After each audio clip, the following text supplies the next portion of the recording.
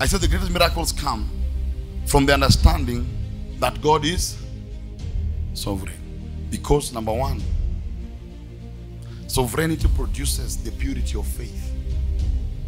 The purity of faith. What is the purity of faith?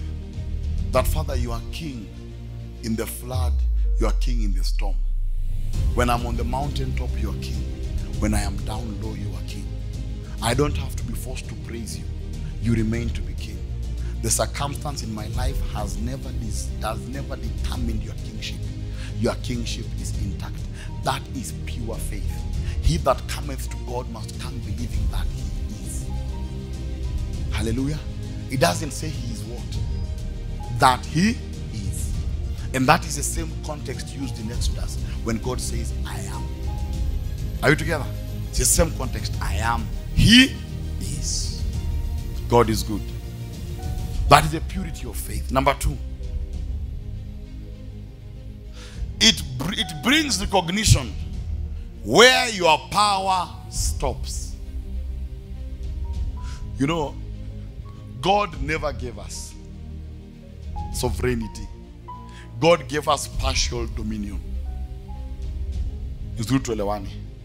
That's why I always say this thing of storming heaven, I don't like. Hallelujah. Heaven si kwako. God is good. Amen. Yes. We cannot storm heaven. No.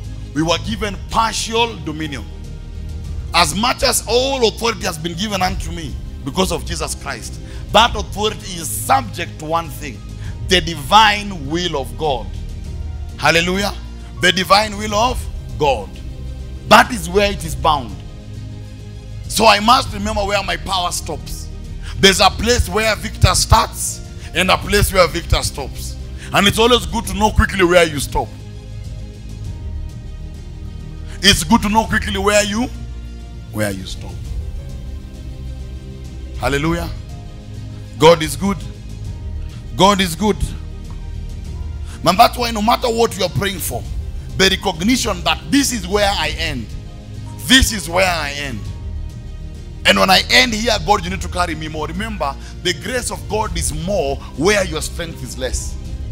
The strength of God is not more where your strength is more. You and God can compete in, in, in, in uh, strength. No.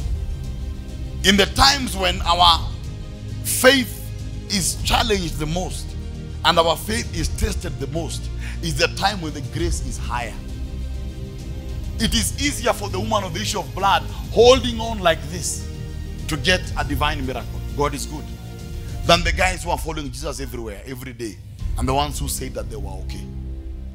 When your faith is at the lowest, but you still have enough grace to hold on, that is where the power of God moves.